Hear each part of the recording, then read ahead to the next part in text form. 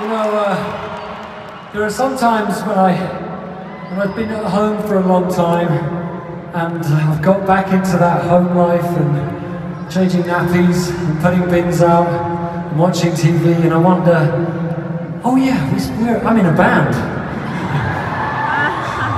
and can we still do it? You know, are we getting too old? Is it still possible? You feel nervous, you feel strange coming back into this environment and in this world.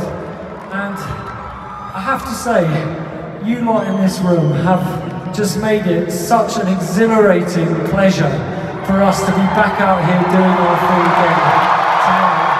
And of course we remember why we do it. This has been so incredible. So, uh, this is this is kind of our last song. Yeah.